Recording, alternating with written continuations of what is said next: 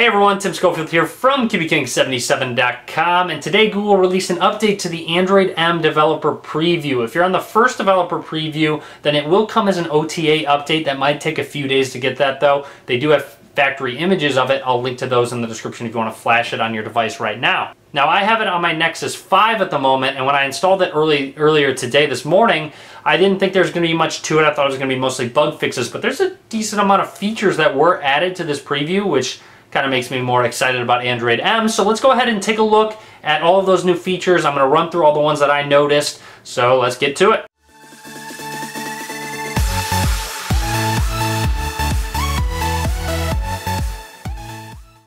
Alright, so here's a look at the first update to the Android M developer preview. If you missed my first video on it, I'll link to it in the description if you want to check that out. But you'll see I'm on Android version M.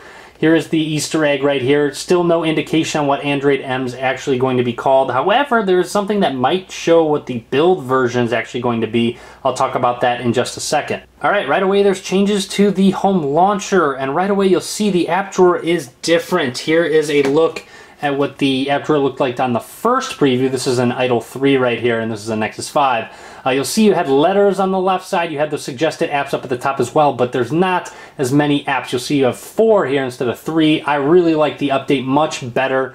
And then you'll also notice you have a scrolling bar, which you can actually scroll quickly alphabetically through these apps. Now, you can also do that with widgets. So press and hold on the home screen, go into widgets, and you'll see it's very similar right here. You can swipe through if there's more than two uh, left and right, but also you can go quickly between them. It's a really smooth and great animation. I really like it. Just and you can go through autumn uh, alphabetically. Now you can also get rid of these suggested apps that are up at the top here by pressing and holding, going to settings, and you'll see show predictive apps. You can untick that and then in the app drawer, you'll see up at the top, there are absolutely no suggested apps. Sometimes I needed to do a reboot for that to actually show up. So if I'll check it, I don't know if it's going to actually show up. It did. So you'll see there, they're back, those predictive apps. So nice that you can customize that. Now going back into those settings, there's another one that's allow rotation. So that's new. Check it out, guys. On my home launcher, I can now use it in landscape mode and also even the app drawer as well. Interesting little animation coming over to the right there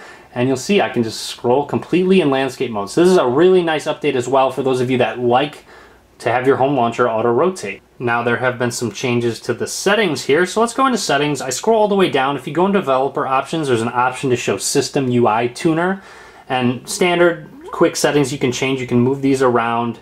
Um, it works pretty well to move them around. Uh, status bar as well. This is a new one. This is really cool actually. So check this out guys.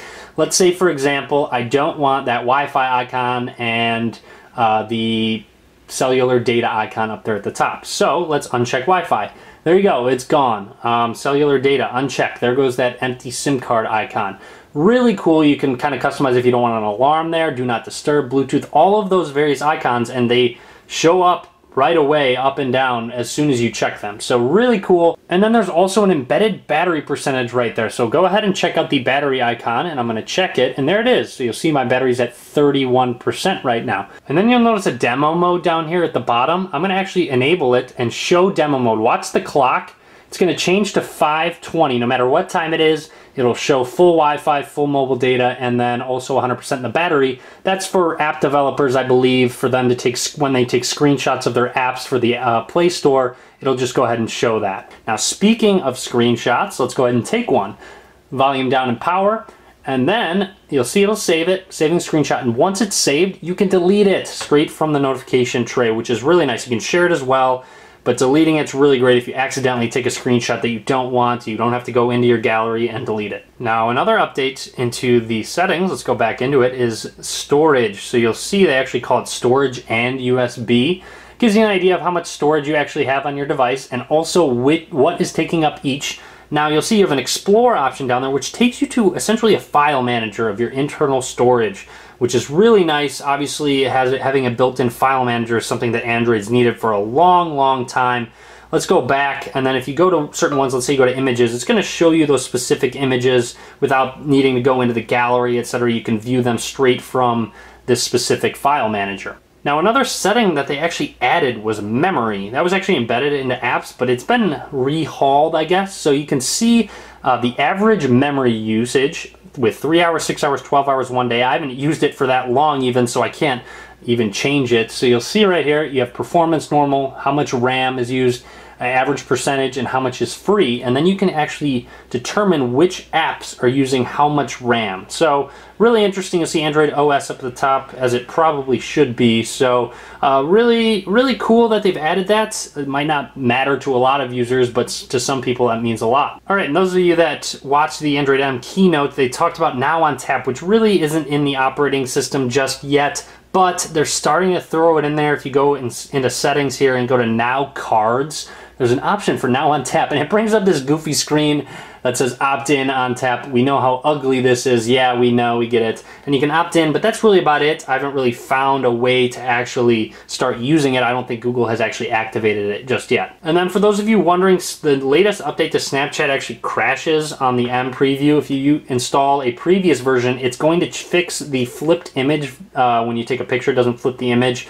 So for those of you wondering about that, and that's really about it. And you can uninstall apps from the home screen. That was actually in the other one, but I think that's a really neat feature that I wanted to talk about again. So there we go. Quick un uninstall, not having to go into the app drawer, which has been updated. Yay! But anyways, that's it. Uh, hopefully you enjoyed this video. Hopefully it helped you out.